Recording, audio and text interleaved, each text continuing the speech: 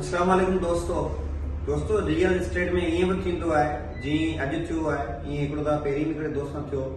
तो बाद औकात कुछ अर्सो गुज़रण का पोइ बि मुनाफ़ो तव्हांखे कोन मिलंदो आहे ऐं जेको जंहिं रेट में तव्हांजी शे वरतलु हूंदी है मार्केट जी जेका अप्स एंड डाउन आहिनि उनजे मुताबिक़ फैसलो कबो रियल इस्टेट में उन ही रेट में ॾियणो पवंदो है पर बाद औकात कुछ अर्सो गुज़रण का पोइ उन ही रेट में उहा शे सेल करण बि मुनाफ़ो हूंदो आहे छो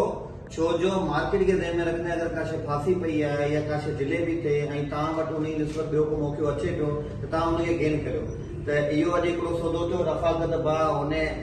सौदे में बाकायदा शिरकत कई रफा गदबा थैंक यू सो मच तव्हां इहो माना रिस्क खयो पर यो मार्केट यो उसूल बा केॾी केॾी महिल रेट टू रेट शेयर ॾियणो फायदेमंद हूंदो आहे टाइम का पोइ दोस्तों ईअं बि थींदो आहे तव्हां पंहिंजो ख़्यालु रखियो अलाह ताला तव्हांखे असांजे आसानी करे असां आसानी तक़सीम करे शर्फ़ बख़्शे असलाम